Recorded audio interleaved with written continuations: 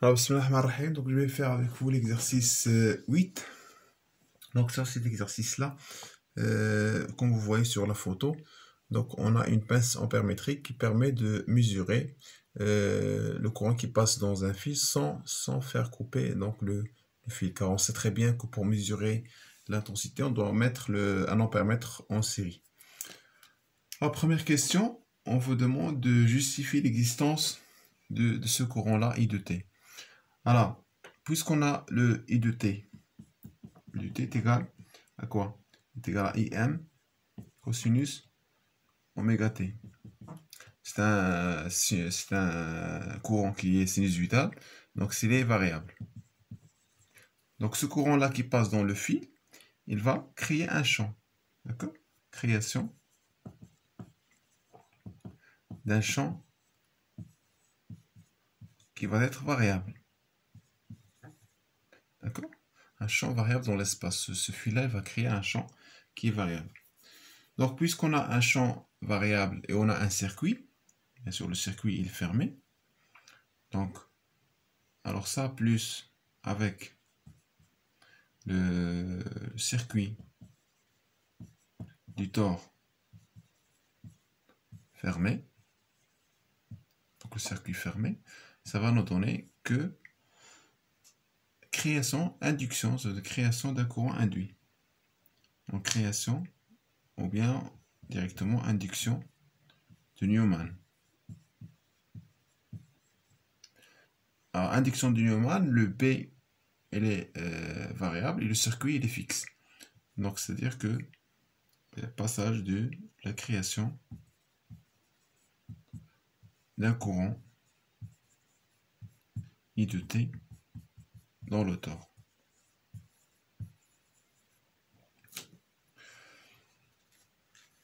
Alors, ensuite, on, vous demande de, la deuxième, question, de calculer le champ propre à l'intérieur du tort. Donc, c'est-à-dire le champ, puisqu'il y a un courant qui passe maintenant dans le tort, on vous demande de trouver euh, le champ créé par ce tort-là à l'intérieur du tort. Donc, ici, on va utiliser le, le théorème d'Ampère. Alors, on sait que l'expression, donc P propre, est égale à BR. On va travailler avec les coordonnées cylindriques. BR suivant ER, plus Bθ suivant Eθ, plus BZ suivant EZ.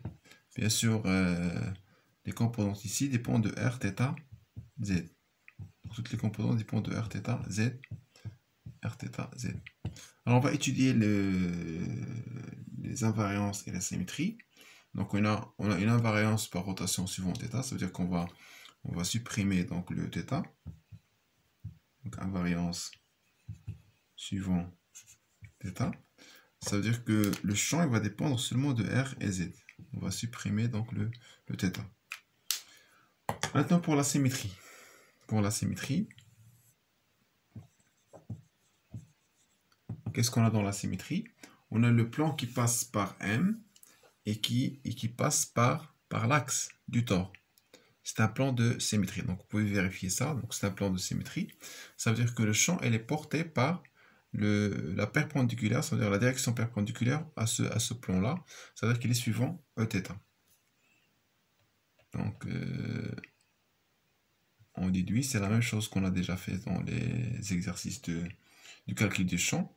Donc le B propre maintenant, il est suivant θ.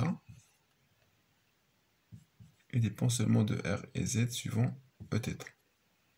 Donc car le, plan M, ER, EZ est un plan de, symétrie. Donc maintenant on va utiliser donc le théorème d'Ampère. Donc le théorème d'Ampère c'est la circulation du B. Toujours c'est le B propre égal à mu0 ion lacé. Bien sûr, on s'intéresse à un point M qui est euh, à l'intérieur. Donc, je vais, supposer que ça, c'est le, le.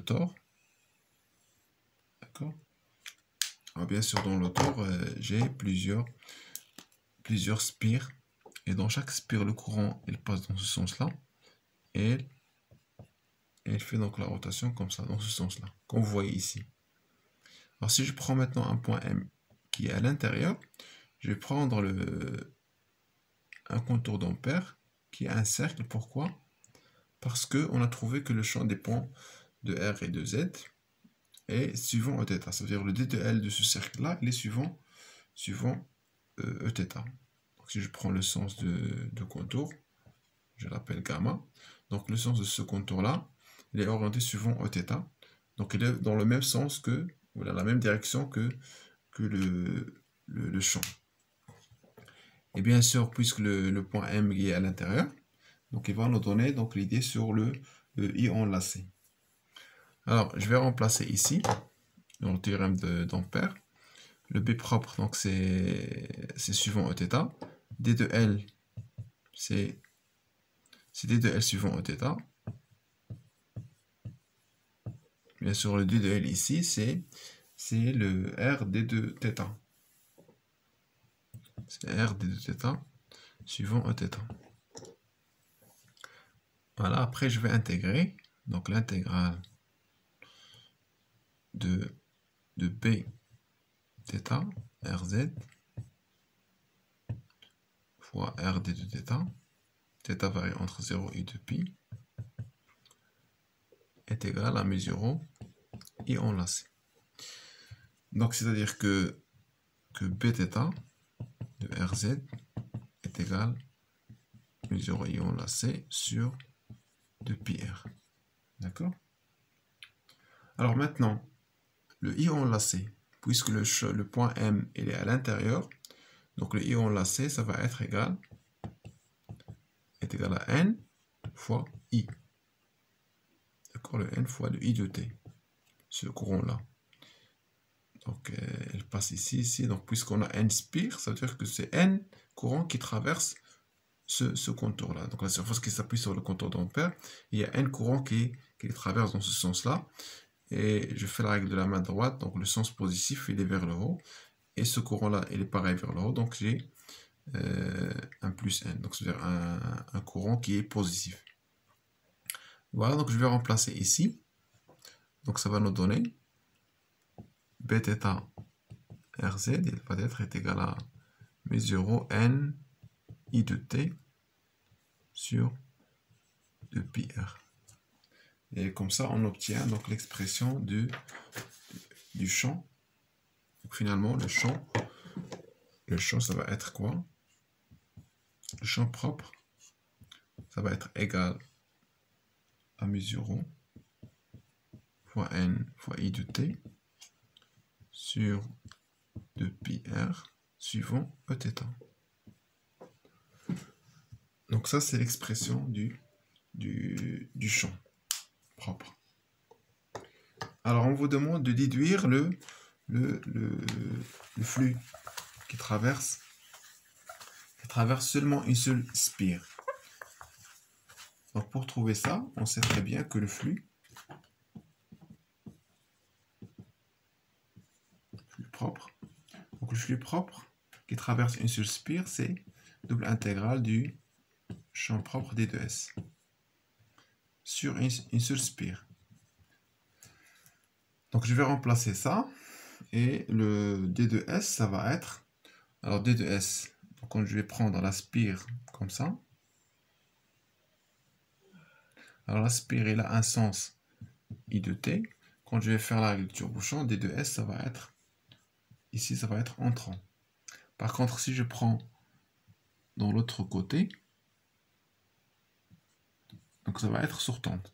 Mais de, toutes les façons, ça c'est Eθ. Ici Eθ il est sortante et ici il est entrante. Alors toujours D2S, je trouve qu'il est suivant Eθ.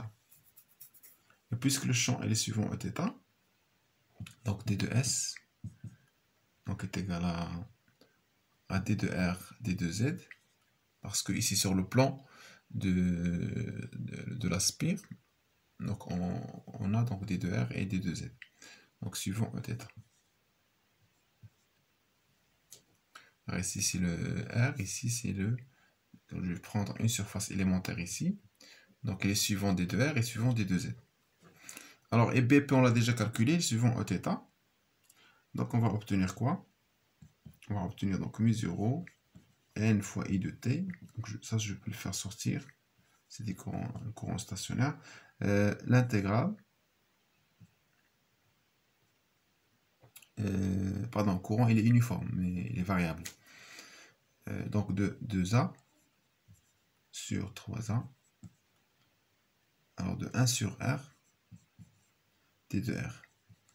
Parce que 1 sur r de, 2r, il vient de ce, fait-là, car le, le 1 sur R vient de, BP, et l'intégrale de d de z de moins a sur 2 jusqu'à a sur 2. Alors ça, ça va nous donner quoi? Donc mu0 n i de t sur 2pi. Donc ça, ça va nous donner ln, ln de 3a moins ln de 2a fois a sur 2 plus A sur 2. Alors finalement, on obtient donc le flux propre est égal à mu0 n fois A. Donc ici A plus 2 sur A plus 2, c'est A, sur 2pi, et sur fois I de t, fois ln, 3 sur 2. Donc ça, c'est le, flux propre qui traverse seulement une seule spire, une seule spire carrée. Maintenant, si on veut euh, trouver donc le flux, le flux total, ça va être quoi?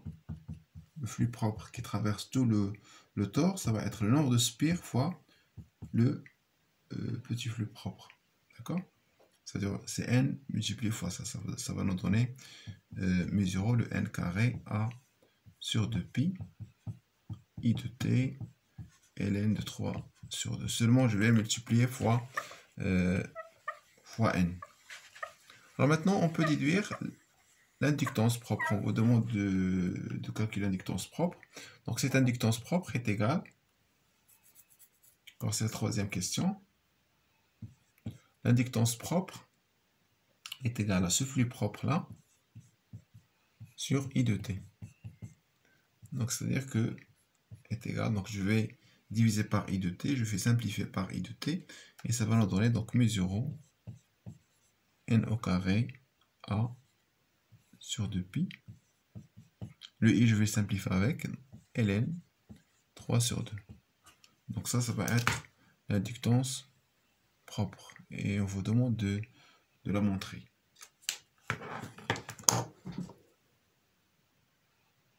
Alors ensuite, on vous demande de calculer le flux mutuel, c'est-à-dire le flux euh, créé par le fil infini et qui traverse le tore. Donc premièrement, le champ créé par le fil infini.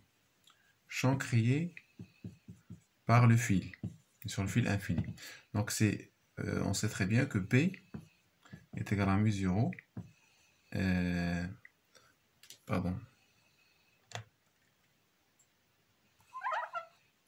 le, champ, le champ créé par le, fil infini, c'est mu0 i de t sur 2pi r suivant e Ça, c'est le champ créé par le, fil infini. Donc, le flux qui traverse une seule euh, spire, donc le flux mutuel, donc ça va être double intégrale sur, le, sur une surface qui s'appuie sur la spire. P de S. Alors bien sûr, on a déjà dit que D de S sur le cadre, il est toujours suivant θ. Le B ici, il est suivant θ. Donc ça va nous donner. Alors, je vais remplacer donc mes I de T sur 2pi. Donc l'intégrale donc si je prends une spire carrée, donc le, D de R, il va, va varier donc de, 2A jusqu'à 3A. Et bien sûr ici, le 1 sur R du, champ va être à l'intérieur de l'intégrale. Donc fois l'intégrale de moins 1 sur 2 jusqu'à A sur 2 du D de Z. Donc ça, ça va nous donner A. Et ça, ça va nous donner ln de 3 sur 2. Et ça va être mu0 fois i de t sur 2pi. Donc le, finalement, le flux mutuel, c'est donc mu 0 donc i de t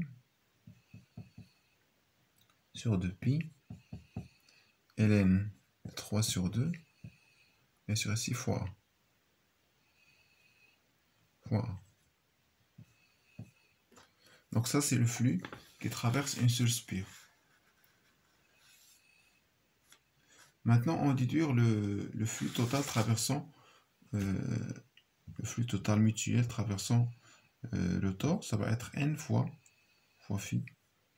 Donc implique que le flux mutuel total est égal à mu 0 n a i de t sur 2pi ln de 3 sur 2. Donc ça c'est le flux mutuel total qui traverse qui traverse euh, le tort, c'est-à-dire créé par le fil infini et qui traverse le, le tort. Donc on peut déduire maintenant, c'est l'objectif de la, de la cinquième question, de trouver l'inductance mutuelle. Alors on sait que l'inductance mutuelle, c'est le flux mutuel sur I de t. Pourquoi sur I de t ici? Parce que le flux mutuel, c'est créé par, ce flux-là, c'est créé par le fil infini. Donc je dois mettre ici le courant I de t. Parce que le courant que je fais ici, c'est, je dis que le flux qui est en haut, c'est le flux créé par ce courant-là. En plus que le, flux mutuel est créé par le fil infini, donc je dois diviser par le courant qui traverse le fil infini. Voilà, et ça va nous donner, donc je vais simplifier par i de t. Donc mes 0, n, a sur 2pi, ln de 3 sur 2. Voilà, donc comme ça, on détermine donc le, euh, le coefficient d'inductance mutuelle M.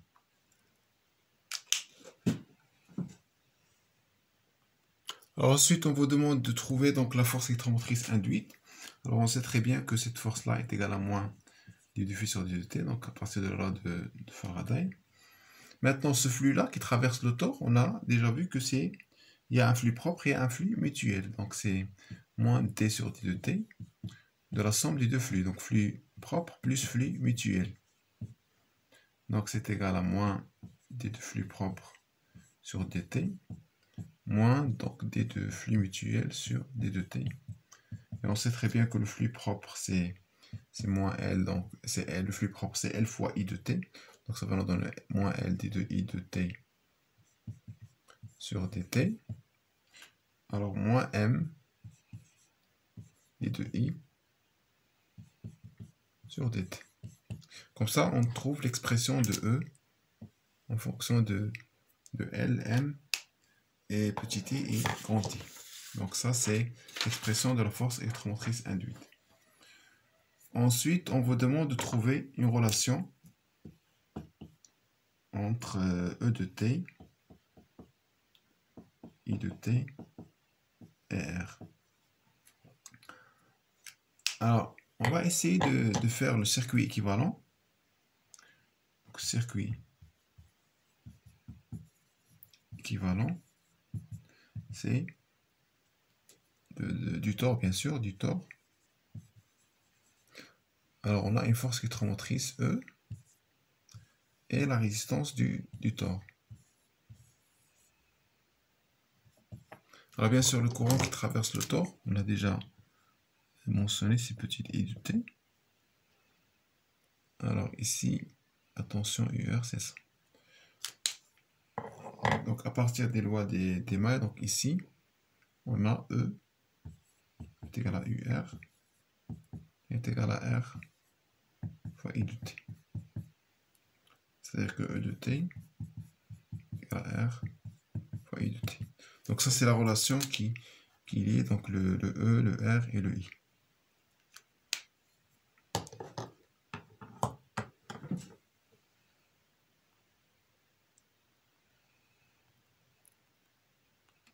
Alors ensuite, on vous demande de trouver le rapport euh, H en complexe. Alors on a déjà euh, vu donc les équations, donc on va les passer en complexe. Donc E est égal à R fois I, donc complexe. Et d'autre part, donc E est égal à moins euh, L d de I complexe sur d de T moins M d de I sur d de T. Bien sûr, on sait très bien qu'en complexe, le fait de dériver revient à multiplier fois g oméga. Donc, c'est-à-dire que c'est moins L g oméga i moins m g oméga grand I. C'est-à-dire que R fois I est égal à moins LG oméga I moins M G oméga grand I. Donc, c'est-à-dire que je vais factoriser par, euh, par I. Ça veut dire que, que I facteur de R plus LG oméga est égal à moins mg oméga fois i.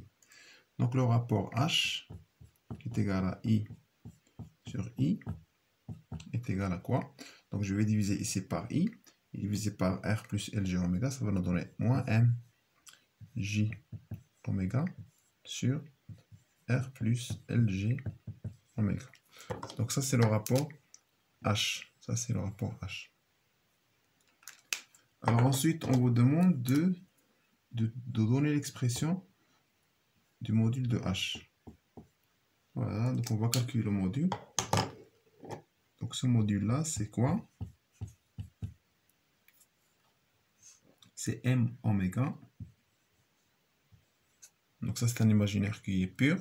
Donc le module, c'est M fois oméga. Et euh, ça, c'est un arbre complexe. Donc ça va nous donner... Euh, un module qui est égal à la racine de R au carré plus L au carré oméga au carré. Donc on peut mettre que c'est égal à M sur la racine de R au carré sur oméga carré plus L au carré. Donc en, basse fréquence, donc bien sûr euh, oméga qui est très très petite, ça veut dire que le terme L carré oméga carré est très très inférieur ou bien très négligeable devant R au carré. Comme ça, on obtient donc euh, H, le module de, H est égal à M oméga sur R. Alors bien sûr, en haute fréquence, euh, on obtient donc euh, oméga est très très grande, ça veut dire que le terme il est proche de 0. Ça veut dire que H est égal à M sur L. Alors car, donc le R au carré sur oméga carré, elle est égale à 0, car l'oméga est très très grand. Donc, est-ce que ce, dispositif permet de, mesurer donc, les, intensités dans, toutes les gammes? Non. Non, ce dispositif permet pas de mesurer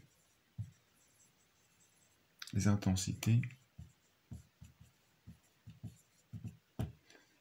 dans toutes les gammes. Toutes les gammes de fréquences. Pourquoi? Parce que ici, on, voit très bien qu'en basse fréquence, le, le, rapport entre le, courant qui traverse le fil et le courant qui traverse l'auto. On a le terme donc oméga. Et seulement c'est en haute fréquence qu'on peut faire donc le, la mesure. Alors, ce M sur L, bien sûr, est égal à, égal à 1 sur N. Donc on a un rapport entre, le, entre les, deux, les deux courants. Alors l'intérêt, l'intérêt d'utiliser cette pince ampérométrique est de quoi? Donc de faire la mesure, la mesure de courant, donc faire la mesure du courant.